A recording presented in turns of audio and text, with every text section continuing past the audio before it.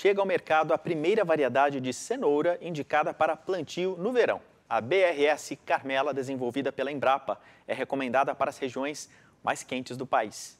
A variedade de cenoura de verão é resistente à bactéria e aos fungos causadores da queima das folhas, considerada a principal doença da cultura nos períodos mais quentes e chuvosos do ano. A BRS Carmela foi desenvolvida para atender lugares onde predominam temperaturas altas, como a região de Ribeirão Preto.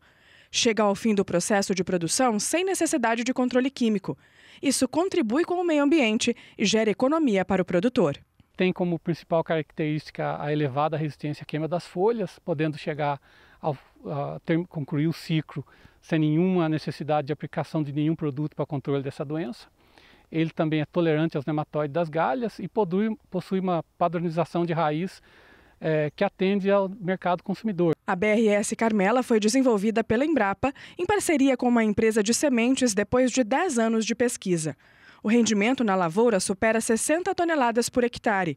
Com a nova variedade, o produtor pode semear e colher a hortaliça durante o ano todo. Hoje se planta cenoura todo dia, se colhe todo dia, não existe sazonalidade de produção e a maior parte do tempo é, é, os preços são acessíveis para o consumidor.